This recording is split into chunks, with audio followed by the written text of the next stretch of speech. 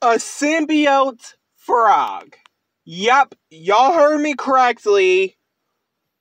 I don't know if this is fan made or a real character for Venom The Last Dance.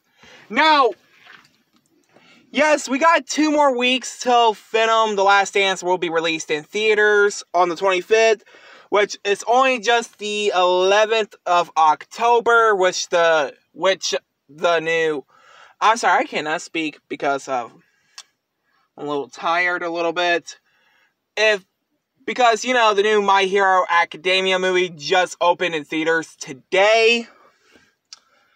And Venom Be Carnage won't be out, like I said, till two more weeks from today. So, yes, I haven't talked about a frog since like that picture I shown you guys about three weeks ago on the 16th of September. I'm not even joking. It was a baby frog because it was my mom's birthday that day that I took the picture from. Anywho, yes, um, I don't know if y'all heard, but we already know we're getting a symbiote horse. But now a symbiote frog? What is this? I know it's supposed to be a Venom movie with new symbiotes and all, but the first movie we had a symbiote dog. Well, technically, no, because Venom took over the dog, like, took over the dog's body. Then we got Carnage from the last and second movie. A horse for the third movie. And now a frog?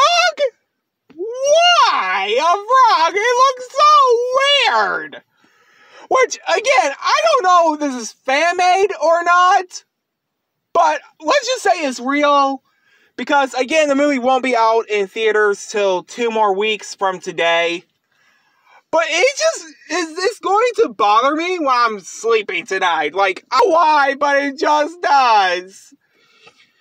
Oh goodness gracious. Oh man.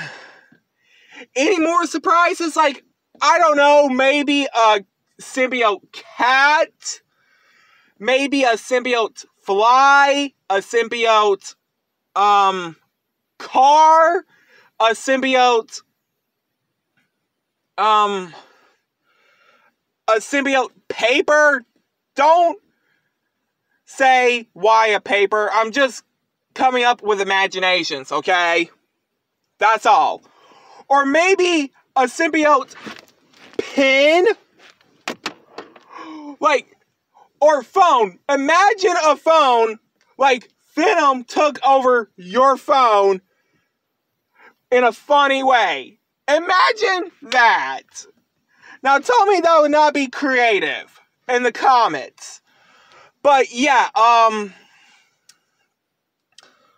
so will I see Venom The Last Dance in theaters? Probably not because I haven't been to a movie theater since May the 13th of 2022, about 2 years ago to see Firestarter.